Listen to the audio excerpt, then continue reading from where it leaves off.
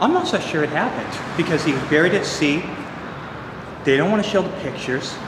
I have a lot of mistrust for the government. Until I see proof, I don't believe it. A lot of people in this country are sheep, where they believe anything and they're gullible, and our politicians play on that. So until I see it, I don't believe it. It's just that we've been lied to so many times. One, if one leader dies, there's always going to be another one rising. You know what I mean? So I, I think that America still needs to keep its guard regardless of what happens.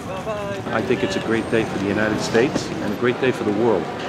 Uh, vermin like him uh, need to be taken off uh, this planet. So I'm uh, quite pleased at uh, what finally happened today.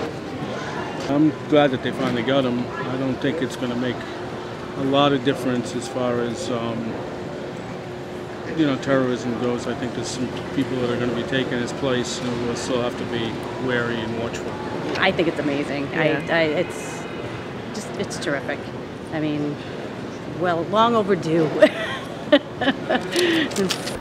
the the idea of launching a you know a special operations uh, force into the suburbs of Islamabad uh, had that come up without uh, bin Laden or had there been collateral damage to innocent Pakistanis would have been a very very difficult both military and diplomatic situation to deal with and when you when you're there you have to plan not only for the a successful operation like it was, but you have to also understand there's a chance that these things won't work out. So it was a very tough and courageous decision.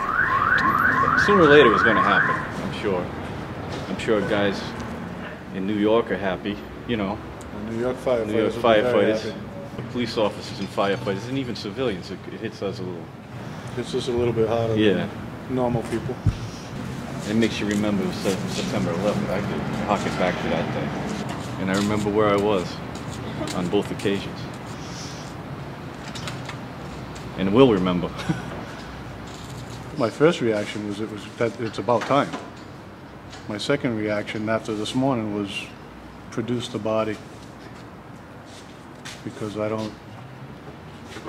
It's been way too long. And they said they buried him. It's the body at sea already. So uh, DNA evidence won't satisfy a lot of people.